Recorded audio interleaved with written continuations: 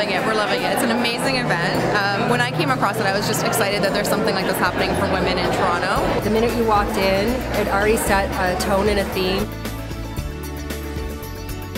We're all looking for that work-life balance. What stops us from really living an inspired life?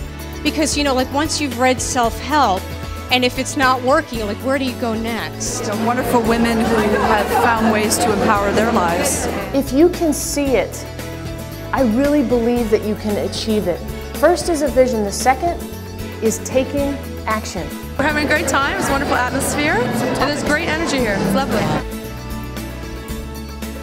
It's incredible when you put lean fuel in your body, what can happen to you. Once you start making those changes to your body, it's like putting high quality gas in a Jag. It loves to run. Every time I eat something now, I'm going to think of that, and it's going to make me make a more knowledgeable decision of what I'm putting into my body. Garbage in, garbage out, okay?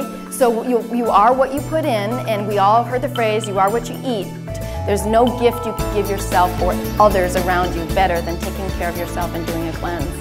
Be more motivated to actually start making some changes that I know I need to make in my life. You know that you change your life in one place, it expands everywhere else.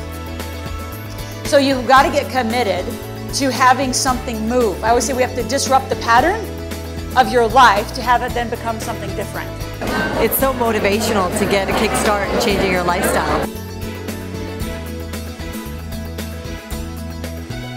It's been very empowering and I think it sets the tone for I think the rest of your day and the rest of your life.